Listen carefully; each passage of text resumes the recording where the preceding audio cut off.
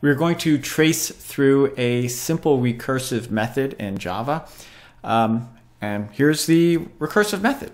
As you know, recursive methods uh, have to have a non-recursive case, a, a, case that doesn't call itself. And in this case, it says if x is less than or equal to zero, return one. This is referred to as the base case. And my else condition is the recursive case, the recursive call.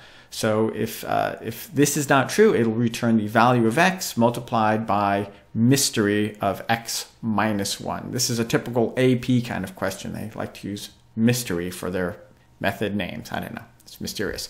So let's say that I'm calling this recursive function and I'm passing it the initial value of 4. So I'd like to draw a little box representing what's happening inside of my method. So here I'm calling it initially with 4. Uh, it, the uh, x is not less than or equal to 0, so it runs the else case and it'll return the value x, which is 4, multiplied by mystery of x minus 1. 4 minus 1 is 3. So this is, in fact, what's happening inside of mystery of 4. It'll, re it'll return 4 times whatever mystery of 3 is. So what's mystery of 3? Well, I'm going to draw a picture of that. So here I am inside of mystery of 3. And again, this little box represents what's happening inside of mystery of 3. Well, that's just going to return 3, right? It's the x value, multiplied by whatever mystery of 2 is. Well, what's mystery of 2? Well, so I'll draw a picture of that. Here I am inside of mystery of 2. Well, that's just 2 times whatever mystery of 1 is. I think you're getting the idea. Here I am inside mystery of 1, which is, of course, 1 times mystery of 0. We're getting ex exciting right here, the exciting part. Here I am inside of mystery of 0, which, of course, is 0. I have finally gotten to the base case, right? x is less than or equal to 0.